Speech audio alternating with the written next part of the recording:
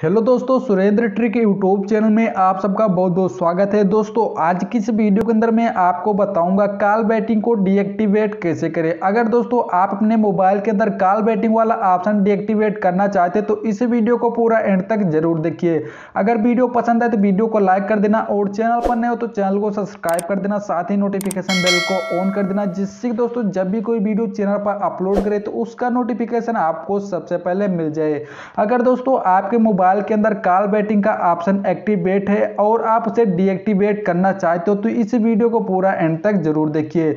चलिए दोस्तों, मैं आप सबको बता देता हूँ कैसे आप अपने मोबाइल के अंदर कॉल बैटिंग वाला ऑप्शन डीएक्टिवेट कर सकते हो। तो दोस्तों, आपको करना क्या होगा, आपको अपने मोबाइल के अंदर डायल पैड को ओपन करना है। जैसे आप अपने मोबाइल के अंदर डायल पैड को ओपन करते हो, उसके बाद दोस्तों, आपको यहाँ पर सबसे ऊपर सेटिंग का सिंबल दिखाई पड़ेगा। आपको सेटिंग के सिंबल पर क्लिक करना है। जैसे आप वहाँ पर क्लिक करते हो तो आपके सामने बहुत सारे ऑप्शन आ जाएँगे। तो दोस्तों, आपको इनमें से मिल जाएगा कॉल बैटिंग का ऑप्शन तो दोस्तों, आपको कॉल बैटिंग पर क्लिक करना है।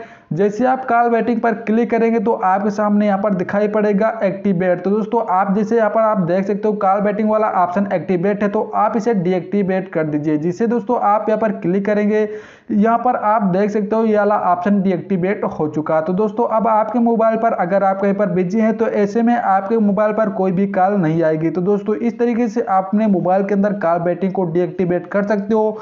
अगर वीडियो पसंद है तो वीडियो को लाइक कर देना और चैनल पर नहीं हो तो चैनल को सब्सक्राइब कर देना। और नोटिफिकेशन बेल को ऑन कर देना। जिससे दोस्तों, जब भी कोई वीडियो चैनल पर अपलोड करे तो उसका नोटिफिकेशन आपको सबसे पहले मिल जाए। तो चले दोस्तों, मिलता हूँ नेक्स्ट वीडियो में नए टॉपिक के साथ। तब तक के लिए जय हिंद बंदे मात्र